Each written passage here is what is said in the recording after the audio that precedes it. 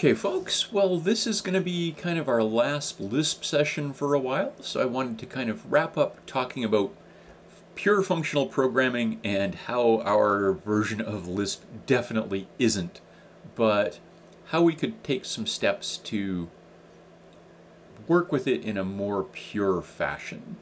So this is kind of where we'll wrap things up for the Lisp side of life. So again, in a, a pure functional programming philosophy, everything's a function returning a value. You don't have state, you don't have sequence, you don't have side effects, uh, you have no kind of explicit ordering of steps. Everything's just function calls and returns. So obviously, the common Lisp we've been dealing with is impure in a ton of different ways. You know, if um, we did talk about the idea that with pure functional programming, without state and without side effects, it makes analysis much further, much simpler. It makes testing much simpler. And so proofs of correctness, testing, all of that is done in a more simple fashion. Um, automated parallelization, parallelization is simpler. Just throw the different function calls at different processors and you're done. But we've got a lot of impurities to deal with that prevent most of our common Lisp code from effectively being supportive of those ideas. Right, there are a ton of different places where we allow explicit use of variables. So things like def vars and lets and the you know implicit setfs and let stars and um, all of the different uh, do's and uh, with open file type of thing where we have a bunch of implicit local variables. Right, all of this has stored state associated with it. There are a ton of places where we permit explicit sequencing of steps, right? In blocks, in let blocks, in function bodies. There are all sorts of places where we allow the specification of do this, then do this, then do this, then do this.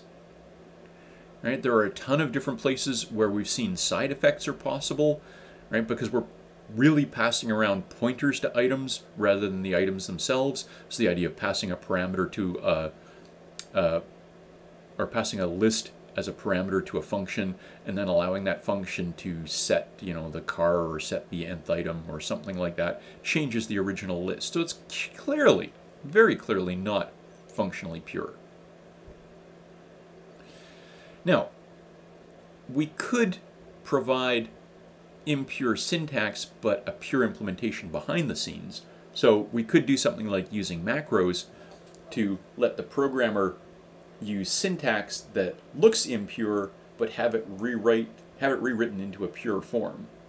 Right? So there might be an efficiency cost associated with that, but it might be worth it if the purity is really desired. So if you want to give the, the programmer the, the look and feel of, uh, of an impure hybrid language, but still have pure functionality behind the scenes, so what we'll do is take a look at how we might actually do that, some steps that we could take. So let's say we've got a function with local variables and we want to rewrite it in a way that doesn't use local variables. So we get this function, uh, defun f of x, we're going to have a let block with two local variables, a and b, and they both get read from values the user provides, and then we use them in some computation. And what we want is to rewrite that in a fashion that's functionally pure, that doesn't use local variables.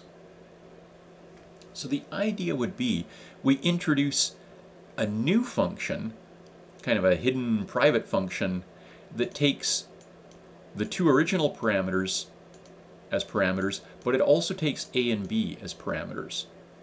So now we've got this, this hidden function that takes four parameters and does the final computation on them. And the way we get the initial values into those parameters is to pass the functions that the original version used to set them. So originally we said set you know a to read and b to the result of a read. So now our function f just calls this hidden function passing the original x, the original y, and the two calls to read. So now f is functionally pure and our hidden function is functionally pure. We've just got this hidden layer of abstraction, right? This hidden extra function call taking place. So we can get rid of this sort of local variables using a rewrite. Handling sequences is a little bit uglier if we want to maintain purity. So let's say I wanted my function to do something like print a message and then do a read afterwards. So we could say something like, let's have an if where we make the first thing we want to do, the prompt, the condition for our if, and then regardless of the result, we follow up with the second step. We do a read if the function was true, or we do a read if the function was false. So no matter what, we carry out these two things in sequence. Now, that does assume that the compiler has to, or that the that when Lisp runs, it has to evaluate that first function in order to perform the second one. So, you know, there are some some caveats to this, but it does allow us to to enforce some sequencing. Now, obviously, if this second thing is a fairly complex function call, we're going to be replicating it twice. Only one of them is going to run, but in the source code, the rewritten source code, it's going to get kind of larger and uglier. And if we've got um, three steps that we're trying to do, then we're saying, okay, well, you know, rewrite the, do the first rewrite to get it, to get the first two steps in sequence, and then treat that first rewrite and the, the final step as, you know, the, the two steps to resequence next. So this could get fairly ugly fairly quickly in terms of the size of the code we rewrite, but theoretically it could be done. Eliminating side effects might be a little bit on the nastier side for uh, our implementation. Right, the current issue that we've got when we're passing a list as a parameter is that we're passing a pointer to the thing, and so if we go through that pointer and change the contents, you're actually changing the original.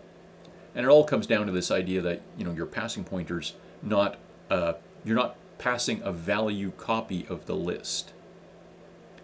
So a solution would be to actually pass the lists by value. So that would mean every time you pass a list as a parameter, you actually make a copy of it and pass the copy.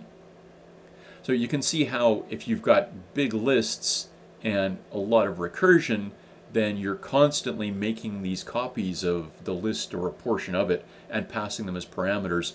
So you are doing a lot of extra steps in copying the list over and over and over again for these recursive calls. And if it's not tail recursive, then you're also putting all that stuff on the stack as well. Well, I guess actually you're putting pointers to them on the stack the way it's currently implemented and putting the, the items themselves in the heap. But even so, you're going through and creating a lot of duplicate data as the recursion plows along. So it could be uh, fairly intense in terms of memory and in terms of just runtime performance with respect to speed because you've got all these copy operations to carry out. So we can go through and take care of a lot of the issues. We could perform uh, sort of macro level rewrites to get relatively pure behavior. It's just at the, the cost of um, runtime efficiency for the most part, um, code size and speed of execution. So just thoughts to keep in mind um, in terms of pure and impure, what, uh, what we are capable of doing and just what the costs, what, what costs are associated with that. All right, I will leave that there. In our next sessions, we're going to start looking at uh, formal grammars as a thing unto themselves, and then we'll look at language descriptions and start getting into more of an analysis of potential language features in a general sense and look at implementation issues and start comparing and contrasting some of the things that we see in C versus Java versus Lisp versus Python versus whatever other languages we happen to want to play with. But we'll save that for next time.